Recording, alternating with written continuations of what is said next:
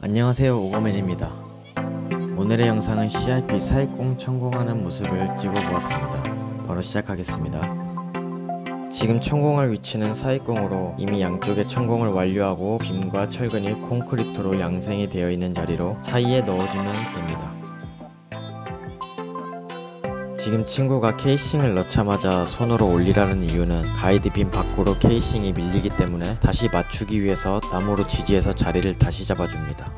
항공항공 팔 때마다 안 밀리고 작업이 잘 될 때가 별거 아닌 것 같지만 행복합니다. 이렇게 천공을 시작한 뒤에 또 안 밀리고 잘 들어가나 어느 정도 들어갈 때까지는 확인을 해줍니다. 네, 안 밀리고 잘 들어가는 모습이네요. 잘 들어가는지 확인을 한 뒤에는 건물과 많이 가깝기 때문에 벽에 분진망이 걸리거나 싱글 오거가 닿이는지 확인을 해줍니다. 또 벽에 창문이 있기 때문에 스크류가 내려올 때 흙이 많이 튈 수 있어서 에어도 어느 정도 들어갈 때까지는 조금만 틀고 작업을 했습니다. 이 부분들이 이 현장에서 최대 난관이었습니다. 지금 천공하고 있는 자리를 장비 옆면에 도면 번호로 체크해둡니다. 참고로 석필이라 잘 지워져요.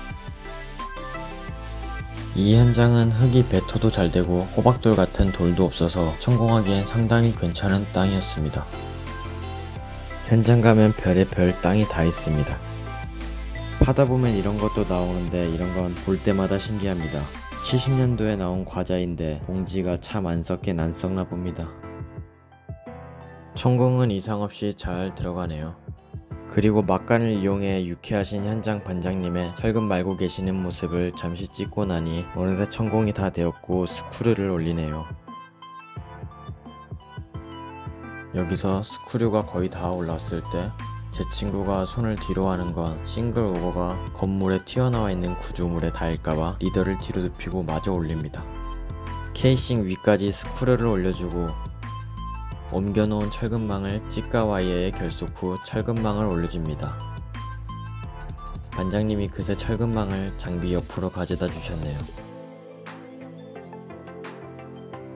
철근망을 올릴 때 철판이 있는 경우는 스키를 타면서 올라오기 때문에 천천히 올려줍니다. 그냥 쭉 올리면 벽 때려 박습니다. 다 올렸으면 장비를 스윙해서 케이싱에 철근망을 삽입한 뒤